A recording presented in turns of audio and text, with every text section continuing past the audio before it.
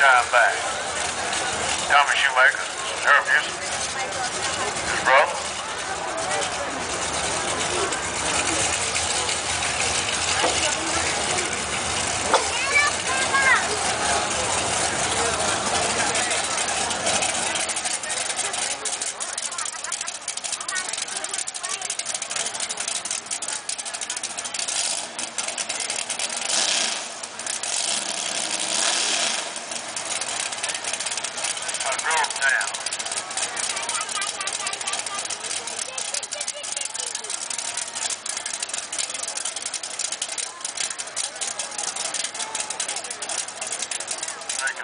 right here.